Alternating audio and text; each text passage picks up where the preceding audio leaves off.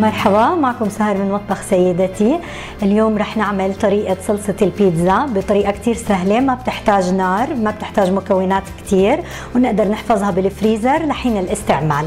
علبة من صلصة البندورة بنضيف عليها 3 أرباع كوب ماء وثلاث معالق تقريبا جبنة بارميزان مبشورة معلقتين سكر نص معلقة صغيرة ملح نص معلقة صغيرة أوريجانو زعتر أخضر مجفف نص معلقة ثوم بودرة ونص معلقة فلفل أسود.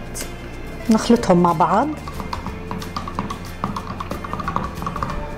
نحطها بعلبة بلاستيكية خاصة بالفريزر.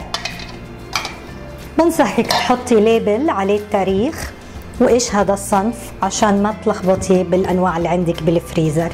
بتمنى تجربوا هاي الطريقة طريقة كتير سهلة وسريعة. تقدري تحفظيها بالفريزر عندك لغاية الوقت اللي بتحتاجي تستعمليها. شاهدوا مزيد من النصائح على قناة يوتيوب مطبخ سيدتي.